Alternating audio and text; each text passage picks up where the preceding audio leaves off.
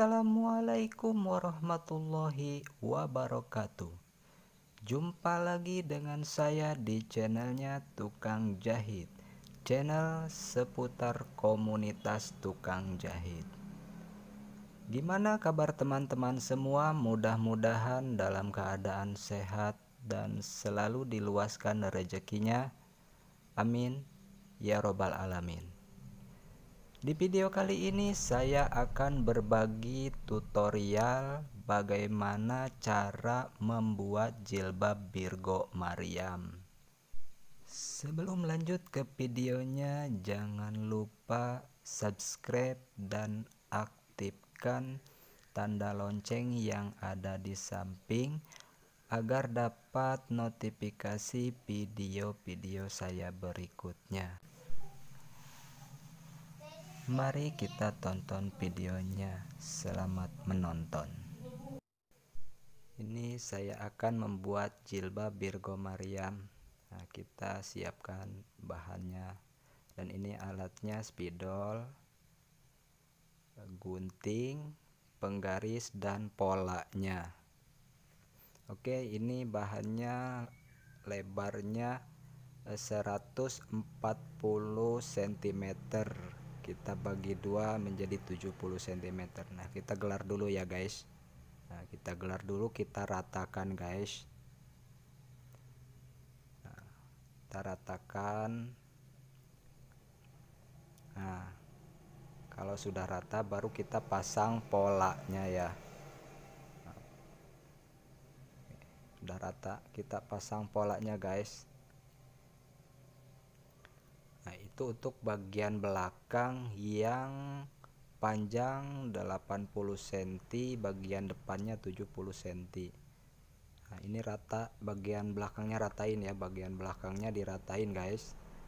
Nah, kalau sudah rata kita gambar ya. Oke, kalau sudah rata kita gambar.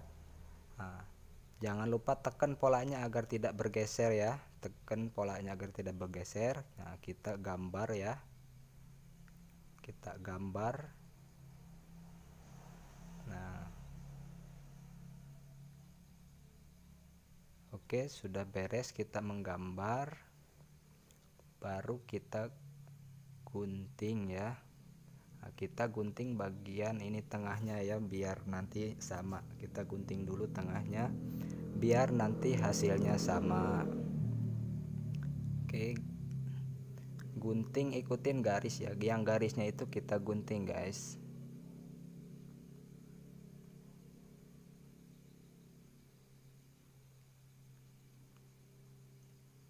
Nah, kita gunting sekarang bagian bawahnya yang digunting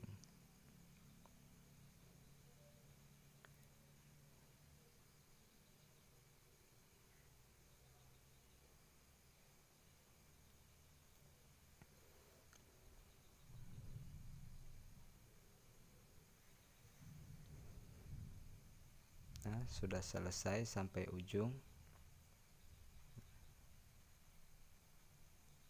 Ingat ya guys ini untuk bagian depannya 70 cm dan untuk bagian belakang 80 cm terserah teman-teman sih kalau mau lebih gede juga bisa. Nah kita sekarang akan membuat pola talinya untuk pola talinya ini yang sisa bahan ini kita ambil garis lurus dulu ya. Kita ambil garis lurus dulu.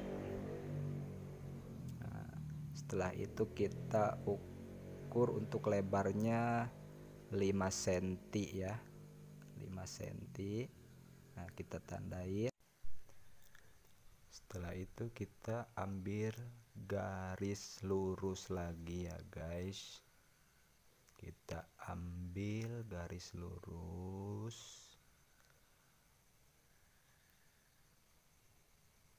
Oke sudah selesai. Habis itu kita gunting lagi. Kita gunting lagi pas garisnya ya guys. Oke pelan-pelan saja ya biar uh, rapih hasilnya. Kita pelan-pelan saja guntingnya biar hasilnya rapi lurus. Kita gunting lagi yang satunya lagi.